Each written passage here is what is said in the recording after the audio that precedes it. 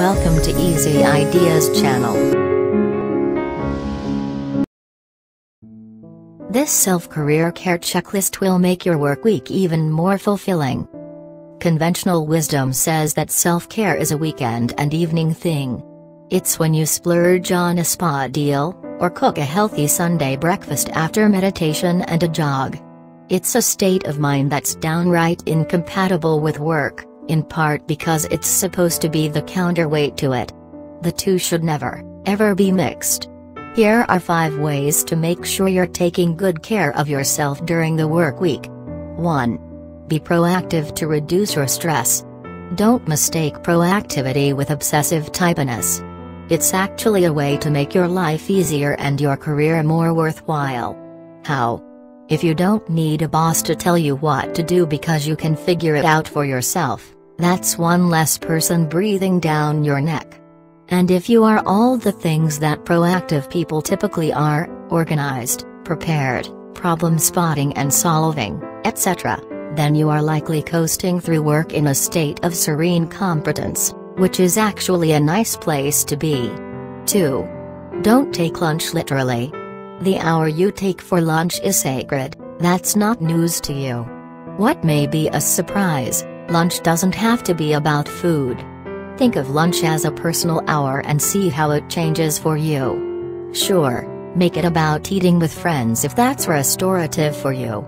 But if you'd rather use the time to pause the mental treadmill of the workday, do that. 3. Grill your boss from time to time. A lot of stress at work comes from not knowing exactly where you stand, what your boss thinks, how you're doing on a day to day basis, whether you could be doing your job better, and so on. Rather than wondering what's up, put some time on your boss's calendar to check in and get the candid feedback that will get you out of the dark and into a place where you can grow and improve. 4. Get the standing desk, and whatever else you need. Sitting is the new smoking. Cold cuts are the new baloney. Harsh lighting can grind on your mood. Knowing this, would you smoke? Eat bad food, or tolerate bad lighting outside of work? Probably not. So don't let it fly at work, either. Point is, the things that you wouldn't neglect in your personal life shouldn't be neglected in your work life either. If fitness is important to you, request a standing desk. If diet affects your afternoon mood, don't eat junk at lunch that will send you crashing at 3 p.m. And if you can't handle the fluorescent lights, buy a warm light lamp for your desk. Don't be shy about requesting the things you need to stay healthy and happy while you work. 5. Don't settle for superficial work relationships. It's always a little tricky balancing work and friendships, but that's no reason not to get to know the people you work with on a personal level. We're social creatures, and studies have found that strong interpersonal relationships are critical to health and longevity. So, take 5 minutes in the morning to say hi to your coworkers. Take 20 in the afternoon to grab coffee with whoever you can drag out.